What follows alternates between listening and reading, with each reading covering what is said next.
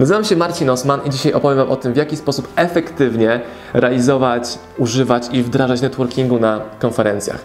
Ale zacznijmy od tego, czym właściwie jest networking. Networking polega w mojej definicji, w moim rozumieniu, na tym, żeby wejść w nową grupę osób i maksymalnie dużo głębokich relacji zawiązać i zobaczyć, w jaki sposób to spotkanie, ta konferencja może wnieść nasz biznes, nasz, nasz projekt na wyższy poziom. I teraz wiele osób uważa, że networking to jest wejść na konferencję, rozdać wizytówki, zebrać wizytówki i jeść dalej sobie jakieś kanapeczki czy kawkę popijać. W moim odczuciu i w mojej praktyce networking jest ciężką robotą. Przychodzisz pół godziny wcześniej niż wszyscy, analizujesz sobie przestrzeń, patrzysz, gdzie wygodnie będzie zostawić swoje rzeczy, patrzysz, gdzie będzie zbierała się publiczność, analizujesz wcześniej, jak będzie przebiegał cały ruch, ruch społeczny podczas eventu, którymi ścieżkami będą ludzie się przemieszczali i w jaki sposób będzie następowała cała interakcja między, nimi. Między nimi. I podam Wam kilka przykładów z konferencji, na której byłem, to u Wojtka Orzechowskiego przez weekend, żeby od tyłu pokazać Wam, w jaki sposób ja się, ja się tego przygotowuję, żebyście mogli to później wdrożyć. Krok pierwszy. Na konferencji musi być wcześniej niż wszyscy. Konferencja rozpoczęła się o 16, przed 16, 15? Nieważne, byłem godzinę wcześniej. Po to, żeby spokojnie sobie rozpakować rzeczy i przeanalizować całą przestrzeń, w którym obszarze chcę być, w którym obszarze chcę przebywać, po to, żebyśmy mogli efektywnie ten czas spędzać. I też bardzo istotną drugą rzeczą jest to, że jeśli nowe osoby przychodzą, to one patrzą na Was. Czyli łatwiej Wam jest zbudować relacje z nimi, jeśli Wy już na tej sali jesteście, bo każda nowa osoba jest taka przestraszona, nie wie co się dzieje, nie wie, która część pokoju jest istotna, a każda nowa osoba próbuje znaleźć od razu przyjaciela na sali. Więc albo ma już swoją grupę, z którą przychodzi, ale częściej jest tak, że przychodzą, przychodzi pojedynczo. Więc jeśli Wy jesteście już na sali prawie pustej, przychodzi nowa osoba, to ona jest spragniona kontaktu z kimkolwiek, kogo zna, albo nie zna, a kto do niego wyciągnie rękę. Więc drugim krokiem jest to, żebyście byli pierwsi i żebyście Wy jakiś sposób witali albo otwierali tą część networkingową, nawet jak nie ma gospodarzy na sali. I chodzi o to, żebyście pomagali zaopiekować się ludźmi, którzy przychodzą do tej sali. I automatycznie pomagacie im przełamać ten pierwszy lód bycia spóźnionym albo bycia zbyt wcześnie na sali, bo waszą rolą jest być gospodarzem. Nawet jak jesteś zwykłym uczestnikiem. I mi bardzo często zdarza się odpowiedzieć na pytania, gdzie mogę moje stoisko rozłożyć od osoby, która przychodzi, a ja tam jestem i myśli, że jestem organizatorem. Pytania o toalety to jest oczywiście podstawa, więc musisz wiedzieć, gdzie są toalety. To brzmi jak banał, ale to jest seria istotnych elementów Twoich narzędzi networkingowych, które posiadasz albo nie. Trzecia rzecz.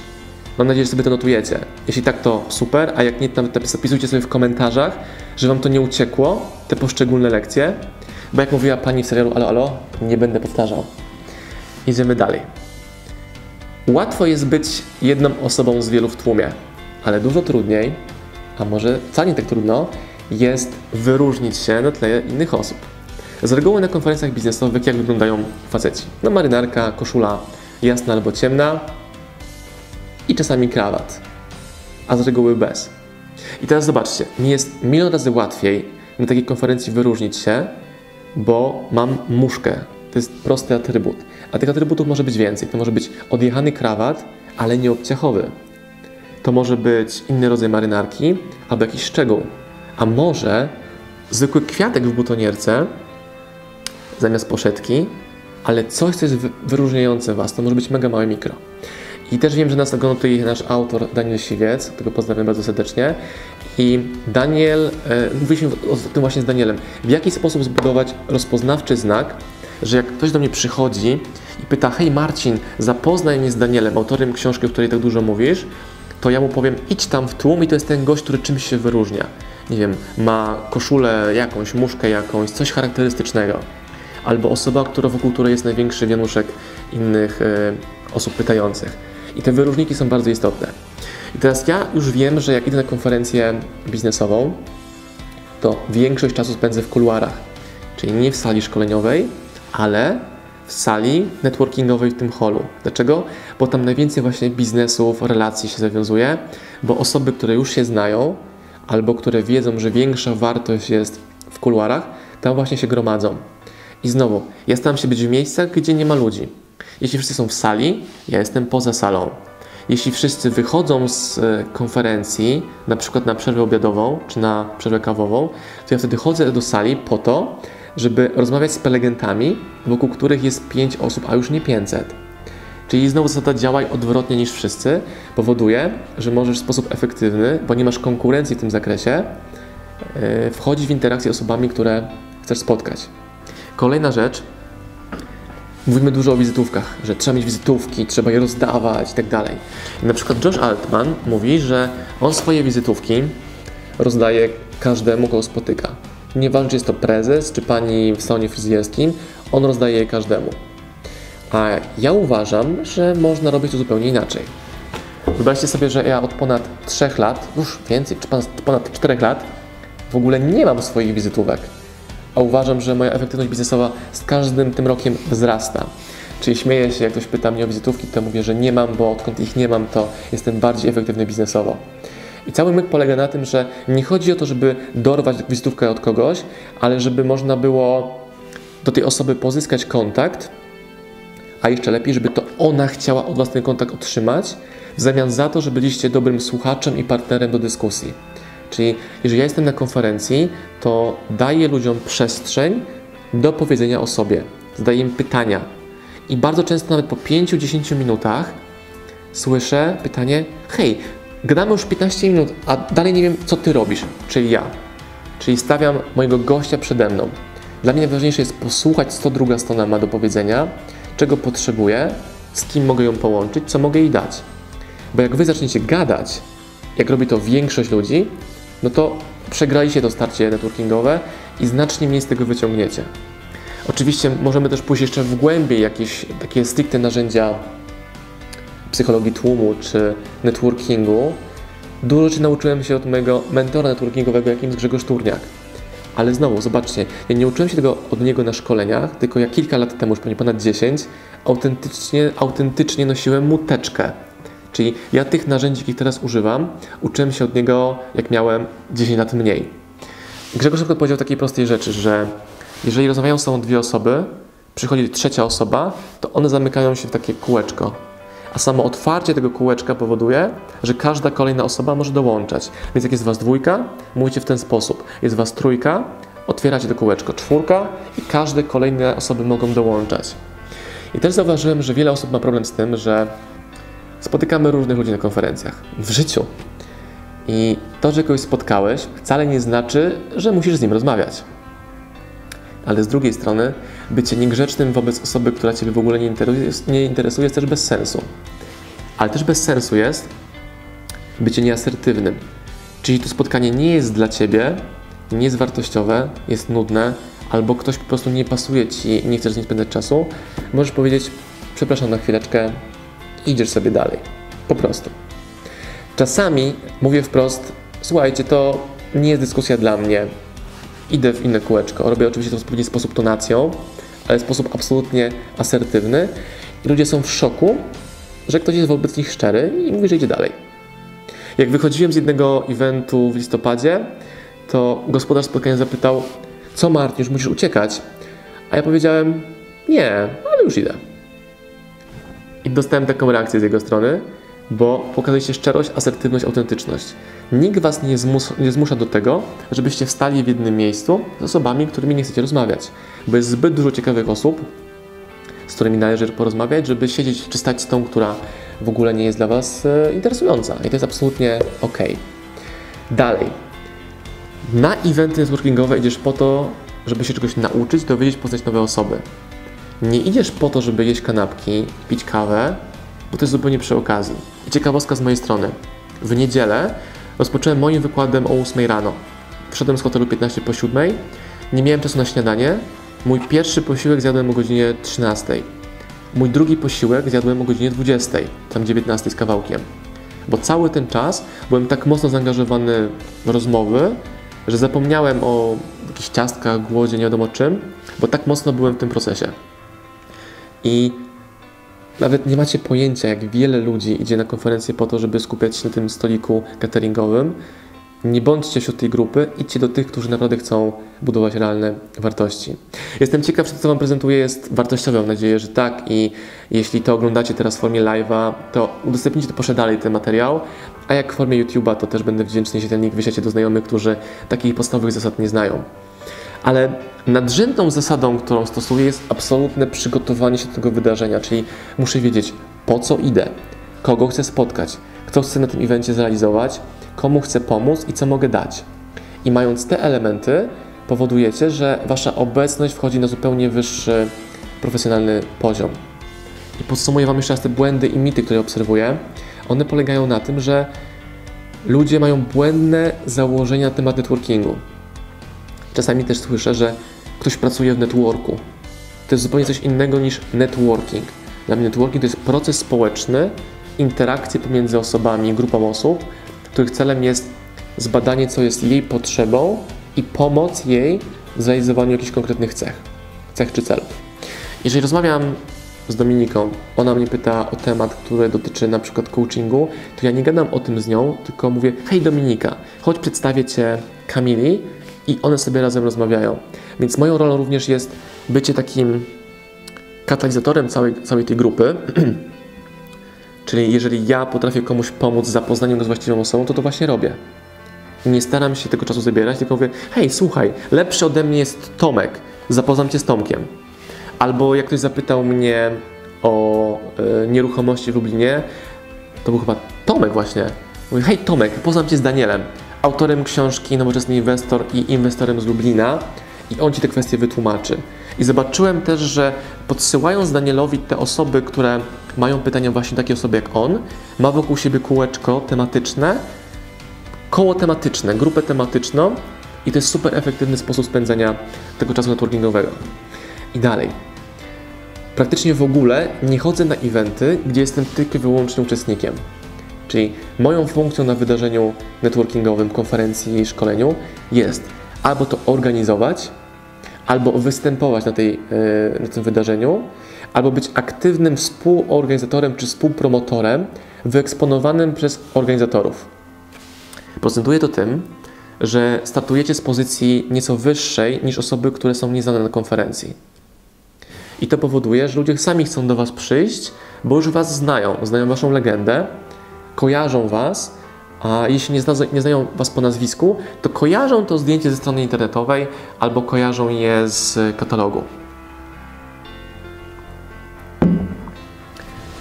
I te rzeczy powodują, że budujecie ogromne przewagi nad innymi. Ja tego doświadczyłem bardzo mocno na tym wydarzeniu, które mówię, które miało miejsce dwa dni temu, gdzie w sali było 500 osób, z czego około 200, może nawet więcej, podeszło do mnie mówiąc: Hej Marcin, nie znamy się, ale oglądam Twoje webinary, Twoje live'y. Podejrzewam, że część tych osób również jest na Facebook Live, które robimy równocześnie z tym wideo na YouTube. Także też również Was pozdrawiam. I to powoduje, że macie łatwiej, bo sami ludzie do Was przychodzą i omijacie ten proces, proces czy etap bycia samotnym na wydarzeniu, że nie wiesz, co z sobą zrobić. Zwróćcie uwagę, jak wiele osób na konferencjach bawi się komórką. Czyli oni przyszli na wydarzenie, gdzie są ludzie, a spędzają czas z ludźmi, których na tym wydarzeniu nie ma. Więc w sumie lepiej byłoby, żeby na to wydarzenie w ogóle nie przychodzili. Tracą szansę, tracą potencjał. Kolejną grupą uczestników konferencji, którzy nie wykorzystują szans, jakie dają eventy, czyli professional networking, są osoby, które mają swoje stoiska. Jeśli jesteś na stoisku, to zauważyłem, że wiele osób postrzega jako gorszą rolę. Rolę hostessy, albo sprzedawcy, albo jakiegoś wystawcy. Czyli kogoś, kto jest po to, żeby to stoisko stało, żeby nikt go nie ukradł, nie wiem dlaczego. Albo strażnika krówek i długopisów. Moim narzędziem do promocji i sprzedaży siebie, moich usług jest właśnie bycie na stoisku. Piękną rzeczą jest to, że mam książkę, moją własną książkę. Dzięki czemu nawet gdy są książki, których my nie sprzedajemy, a są na stoiskach naszych partnerów, czy dystrybutorów, czy księgarni, to jestem aktywnym sprzedawcą, promotorem moich produktów na czyichś stoiskach. I to powoduje, że poprawiam ich jakość sprzedaży. Mało tego, też na stoisku u Wojtka Orzechowskiego na konferencji było dwóch chłopaków, Kuba i Kuba, którzy zajmowali się stoiskiem i są początkującymi przedsiębiorcami. I zobaczyłem, jak to robią. Dałem mi kilka cennych uwag i byłem z nimi bardzo długo I oni sami zobaczyli, że lekcja, jakie im podaje pod kątem sprzedaży bezpośredniej, gdzie klient podchodzi i pyta, hmm, którą książkę Pan poleca? Są najbardziej praktycznym doświadczeniem, mamy kontakt z żywym klientem, możemy jego obiekcje zbijać i chłopaki byli pod wrażeniem, jak szybko te rzeczy zaczęły działać i przekładając się bezpośrednio na ich przychody w kasetce z pieniędzmi, które stały obok. Czyli jeśli masz stoisko, potraktuj to jako szansę zaprezentowania się jeszcze lepiej. Nie chodzi mi o to, że na stoisku masz mieć kanapki, krówki i piwo, ale może właśnie to był pomysł, ale żeby każda osoba, która do Ciebie przychodzi, była zaopiekowana i dopieszczona. Kolejny przykład narzędzia networkingowego jest to, że nawet najmniejsze stoisko może mieć bardzo duże centrum uwagi osób odwiedzających dane wydarzenie i wcale nie musicie mieć wielkiego stoiska, wielkiego rozbudowanego. Wystarczy, że będziecie przy czyimś stoisku byli tak długo, że ktoś pomyśli albo zobaczy, obserwuje, że jesteście częścią tego stoiska, budki i tak.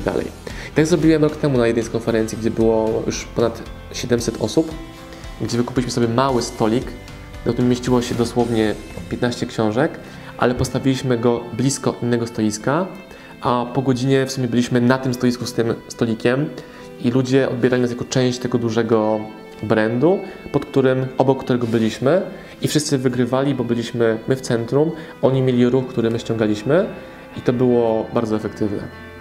Kolejną rzeczą to ludzie potrzebują uwagi. Jeżeli ty będziesz miał wysoko podniesioną głowę i szukał kontaktu z innymi ludźmi, spojrzeniem, a nie uciekał od tego, to zobaczysz, że ludzie będą zdziwieni, że wyłapałeś ich spojrzenie i próbujesz im pomóc, opiekując się nimi, dając im e, wartość w postaci Twojego czasu. I zaopiekowania się znowu, zabrania z nich tej samotności. Więc to są moje porady marketingowe na temat networkingu i można oczywiście mówić o poradach z zakresu psychologii tłumu albo mm, jakichś procesów społecznych, a to wszystko wynika z mojej konkretnej praktyki, jaką testuję i usprawniam z każdym kolejnym wydarzeniem. I też zdarza się, że konferencja jest nudna. I zawsze widzę ludzi, którzy mówią, ale beznadziejne, ale nuda, jak oni mogli to zrobić, ale lipa, kanapki niesmaczne, a w ogóle ta kawa to gorsza niż w McDonaldzie czy Biedronce, czy w Lidlu. A tak naprawdę nudne wydarzenie ma również swoje plusy, że osoby wartościowe też łączą się w jakieś kółeczka. Więc jeżeli ja idę w grupę, która narzeka, marudzi, obgaduje organizatorów albo siebie nawzajem, to ja nie chcę tam być, tam nie ma dla mnie miejsca, bo wiem, że w tej grupie, jak ja tylko odejdę, będzie komentarz pod moją, w moim kierunku i to jest coś, co w ogóle mnie nie interesuje. Więc, żeby podsumować wszystkie te strategie, jakie Wam przedstawiłem, które możecie jeden do jeden wdrażać, powiedziałbym tak, że przygotowanie, bycie wcześniej, bycie innym od grupy, która tam występuje, powoduje, że budujecie swoją pozycję i przewagę znacznie mocniejszą niż wszyscy inni. I zauważyłem, że, też jest taka postawa uczestnika, czyli jestem uczestnikiem, więc moją rolą jest tylko przyjść, usiąść, posłuchać i wyjść. To od Ciebie zależy, jak bardzo zaangażujesz się w całą konferencję, event czy szkolenie, będąc zwykłym, szarym uczestnikiem. Często też, o, o tym zapomniałem, jest to super ważne. Pod tym, linkiem, pod tym filmikiem wkleję Wam link do mojego wystąpienia z tej konferencji Wojtka Orzechowskiego. I tam zobaczycie na początku, co tego nie wycinałem z materiału, że ściągam uwagę ludzi. Tam była taka sala, jakby aula, całkiem duża. I zobaczyłem, że ludzie usiedli w różnych częściach sali. A ja chcę tych wszystkich ściągnąć bliżej, żebym nie musiał tracić mojej energii jako prelegent na mówienie przez krzesła, przez puste krzesła. Chcę mieć ich wszystkich w jednym miejscu. Jeśli jesteś uczestnikiem, to usiądź w pierwszym rzędzie. Ale słyszałem komentarze, ale pierwsze rzędy są dla VIP-ów, dla organizatorów, ale dlaczego tam są wolne miejsca? Bo nikt tam nie usiadł, nikt tam nie usiądzie. W najgorszej opcji ktoś Cię wyprosi z tego miejsca. I nie chodzi mi o to, żebyście kupowali tanie bilety, siadać na VIP-ach, ale z reguły ta sala jest otwarta i możliwe jest to, żeby się przesiadać. Jeśli są wolne miejsca, siadajcie w pierwszym, w pierwszym, w pierwszym rzędzie. Dajcie zapamiętać się odbiorcy, odbiorcy, organizatorom i osobom, które są wpływowe, czy ważne, czy główne na tym wydarzeniu. Dzięki temu będziecie mieli łatwiejszy z nimi kontakt i pamiętajcie, żeby unikać tłumu i być w innych miejscach sali. Jeżeli idziesz na konferencję, gdzie zależy, zależy Ci na tym, żeby nawiązać kontakt z prelegentem, a wiesz, że tam są dzikie tłumy, zakoleguj się z tymi, którzy są zapracowani, zabiegani, zmęczeni, mają e, plakietki organizator, żeby oni Ci pomogli. Dostaliśmy też razem z Kamilą podziękowania od organizatorów tej konferencji weekendowej, gdzie my byliśmy uczestnikami, a ja prelegentem. I oni podziękowali nam za ogromne zaangażowanie się w organizację tego przedsięwzięcia. Czyli znowu, nie musisz mieć jakiegoś statusu czy pozwolenia, żeby zaangażować się w bycie współorganizatorem technicznym tego wydarzenia. Oczywiście nie można tego przegiąć, nie możesz włazić do pomieszczeń dla e, nie ciebie, ale możesz być aktywną osobą pomagającą w całym tym przedsięwzięciu.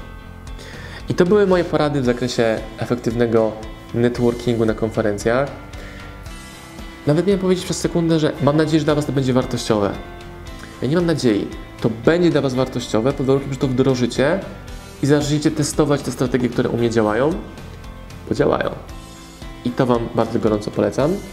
Jeśli chcecie nauczyć się jeszcze więcej o wartościowym networkingu, sprzedaży, psychologii tłumu, interakcji, to bądźcie z nami na konferencji 19 lutego w Warszawie, gdzie głównym gościem będzie Marcin Osman, Wojtek Orzechowski, Dorota Stankowska i bracia Altman. I pokażemy Wam, w jaki sposób można robić efektywne łączenia ludzi jako uczestnicy, prowadzący i osoby, które bazują bardzo mocno, bardzo mocno na tym, żeby dać swoim odbiorcom ogromną wartość, zarówno merytoryczną na scenie, jak i zadbać o te wszystkie procesy i elementy, szczegóły społeczne, żebyście wyszli z tego wydarzenia w super wartościowy sposób. Więc tutaj dziękuję Wam YouTube za Waszą uwagę i teraz Wami się pożegnam, a zwrócę moją uwagę na moich Facebook lejkowiczów, których tutaj już jest, widzę kątem oka, kilkaset, żeby na ich pytania podpowiadać. Także YouTube dziękuję.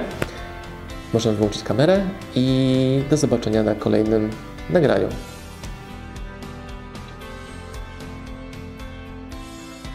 Dobra, jakie macie pytania? Czy mogę Wam pomóc? Dalej mamy 162 osoby, więc zakładam, że jeszcze jest coś, co mogę dla Was zrobić.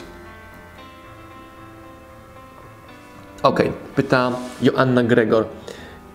Jakie podpowiedzi mały element, jaki może wyróżnić się kobieta? Joanna, zaraz Ci pokażę element, jaki możesz się wyróżnić. Podaj Dominika nasz element, którym możemy się wyróżnić jako kobieta. To jest super proste. Zobaczcie, ja używam muszki. Kobieta również może używać muszki i zaraz Wam pokażę coś, co wymyśliliśmy u nas e, w sklepie. To jest muszka, taka sama jak tutaj, dobrze widzę? To sama, to jest, a, tu widzę, to sama. To jest moja muszka męska. Możesz zrobić dokładnie to samo, co ja zrobiłem, ubierając się w muszkę damską, która jest identyczna jak moja, identyczna jak moja, ten sam materiał, to jest muszka Osmana wersja damska, a ona ma trochę inne zaczepy. O, i możesz dokładnie się e, możesz się dokładnie wyróżnić mając ją w formie albo takiego naszyjnika, albo w formie muszki mniejszej damskiej. Proszę bardzo. Ona jest po pierwsze muszką i bardzo rzadko widzę muszki u kobiet, a dwa jest taką mega odjechaną, to dam wam bliżej, żeby fokus złapał. I to powoduje, że będziesz bardzo łatwo wyróżniona. Możesz sobie ją znaleźć na OSM Power Pelecie i wrzuciliśmy. Zostało jeszcze kilka, bo to jest mały nakład. Dalej, patrzę w pytania. Hmm. Bartek Stępień pyta, właśnie Marcin, podchodzisz do osób pojedynczych, do grup, co się lepiej sprawdza? Nie ma czegoś takiego jak co się lepiej sprawdza. Testujesz sobie różne opcje po to, aby sprawdzić, co u Ciebie, co u ciebie działa. Mhm. Grażyna Banaszczuk pyta, a co z kobietami? One nie podają ręki. Ja się z tym nie zgadzam. Nie zdarzyło mi się nigdy, żeby kobieta nie podała mi ręki. Że podaje rękę, no i podaje również nie rozumiem. Jesteśmy w relacji biznesowej, gdzie tak właśnie to będzie wyglądać. Mm, dalej. Adam Adamek pisze, że spisuje moje rady. Rewelacja. Asia Gregor mówi, ale to są muszki Osman, a nie Gregor. Jeśli będzie nosiła je Gregor, to będą muszki Gregor. Ja nie mam abonamentu ani monopolu na używanie muszek, i zobaczyłem na przykład na evencie wczoraj, w drugim dniu, że kilka osób przyszło w muszce i to jest piękne, bo nie ma jakiegoś kopiowania mnie, tylko jest używanie strategii, która działa. Tak bym ją nazwał. Mhm. Dobra, jakie macie pytania? Dalej mamy 150, prawie 160 osób, więc piszcie proszę, czy mogę Wam pomóc.